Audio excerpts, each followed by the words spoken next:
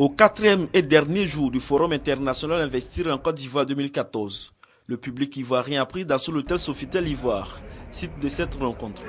Ils sont venus de toutes les communes du district d'Abidjan et des villes de l'intérieur du pays pour cette journée porte ouverte afin d'être témoins de l'événement et surtout échanger avec les exposants. En tant que citoyen ivoirien, d'abord je veux venir me rassurer de tout ce qui est dit à la télé, que euh, les investisseurs arrivent, puisqu'on a un souci d'emploi.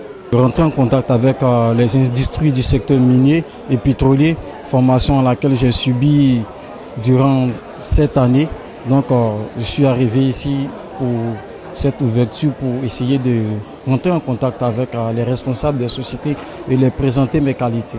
Je suis venu euh, pour recevoir des informations et retrouver des opportunités de stage aussi concernant ma filière.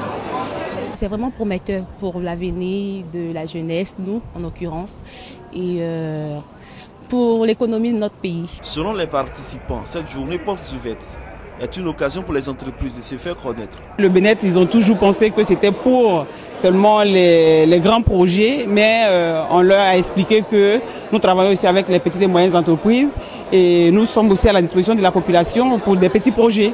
Il était une formidable opportunité pour nous de pouvoir bénéficier de la mise en relation avec euh, des fonds de financement étrangers.